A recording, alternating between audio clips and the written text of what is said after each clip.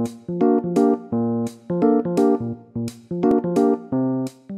Friends நம்ம இப்போ பன்னீர் புர்ஜி எப்படி செய்கிறதுன்னு பார்க்கலாம் வாங்க.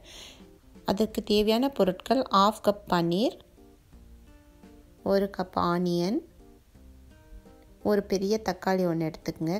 ஒரு ரெண்டு பச்சை மிளகாய் எடுத்துருக்கேன். நீங்கள் உங்கள் காரத்துக்கு தகுந்தது போடுங்க. ஒரு டீஸ்பூன் சுகர் ஒரு டீஸ்பூன் கரம் மசாலா ஒரு டீஸ்பூன் மிளகாய்த்தூள் கொத்தமல்லி தூள் மஞ்சத்தூள் கொஞ்சம் சால்ட்டு க்ரீம் வந்து ஆப்ஷனல் கடாயில் ஒரு டேபிள் ஸ்பூன் பட்டரும் ஒரு டேபிள் ஸ்பூன் கீயும் விட்டு ஆனியனை போட்டு நல்லா வதக்குங்க.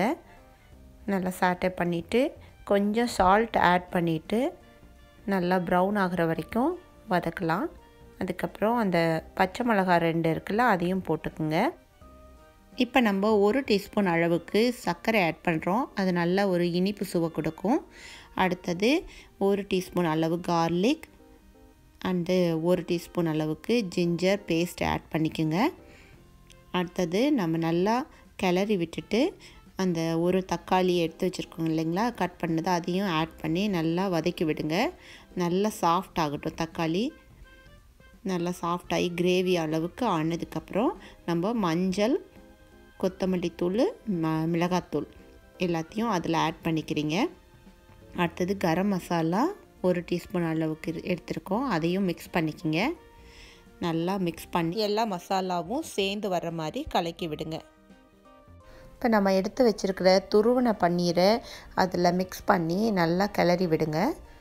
அப்புறமா கொஞ்சம் ஒரு அரை கப் அளவுக்கு தண்ணி விட்டு அதையும் நல்லா கொதித்து வர வரைக்கும் வெயிட் பண்ணுங்கள் நல்லா கிரேவி சேர்ந்து எண்ணெய் பிரிஞ்சு வர வரைக்கும் கொதிச்சதுக்கப்புறம் நீங்கள் வந்து க்ரீம் வந்து உங்களுக்கு வேணும்னா ஆப்ஷனல் தான். விட்டுக்கலாம். உங்களுக்கு விப்பிங் க்ரீம்னு கடையில் கிடைக்கும். நான் இங்கே மில்க் க்ரீம் வச்சுருக்கேன். இதை வந்து கொஞ்சமாக யூஸ் பண்ணியிருக்கேன் நான். உங்களுக்கு வேணும்னா பயன்படுத்திக்கலாம். அதுக்கப்புறம் கடைசியாக கொஞ்சம் கொத்தமல்லி தலையை தூவி நிறுத்துனீங்கன்னா ஒரு அருமையான பன்னீர் புஜ்ஜி ரெடி ஆயிரும்.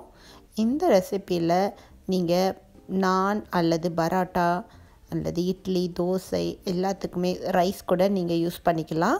ரொம்ப டேஸ்ட்டாக இருக்கும். குழந்தைங்க ரொம்ப விரும்பி சாப்பிடுவாங்க. இந்த ரெசிபி உங்களுக்கு பிடிச்சிருந்துச்சின்னா லைக் பண்ணுங்கள் ஷேர் பண்ணுங்கள் ஹாப்பி குக்கிங்க்கு சப்ஸ்கிரைப் பண்ணுங்கள் தேங்க்யூ